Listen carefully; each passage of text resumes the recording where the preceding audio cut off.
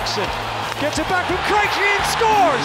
Loui Eriksson has the hat trick, his first as a Bruin, and the Hats come sailing down at TD Garden.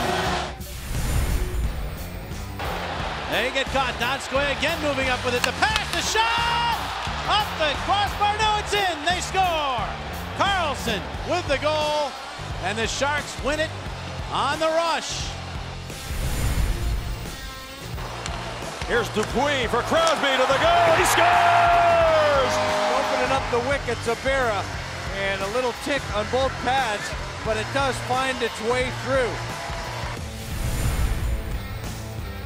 Oshie to the goal mouth there, back in, score!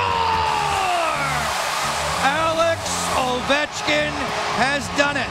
The greatest Russian goal scorer the NHL has ever seen. Most goals ever now by a Russian player. Spezza, who turns, steals, and scores in one fell swoop. 3-2 Dallas. Spezza, with a sneak attack, rips off the caps and rifles one. Short side. Mikkel Boedker down low. Vermette with a chance. Fanned on it. Petry throws it up the middle, and Ekman Larsson scores. Oliver Ekman Larsson extends his point streak to seven games with his first power play marker of the year. Following through though and across the line. This is Pageau, the right-handed shot off the goal post, rebound scores.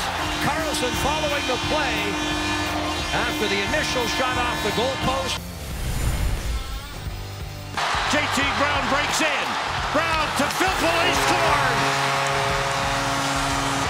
Short-handed goal by Valtteri Filppula.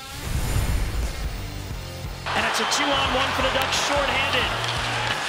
Out in front, Cogliano, and he scores. Roberto Luongo just couldn't do any more than he's done already in this game.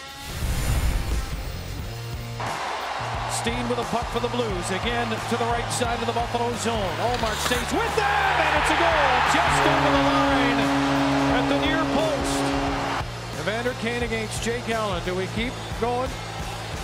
Or does the night end on this shot? Kane now cuts in on his forehead off the post. And the Blues over the bench to celebrate the extra point.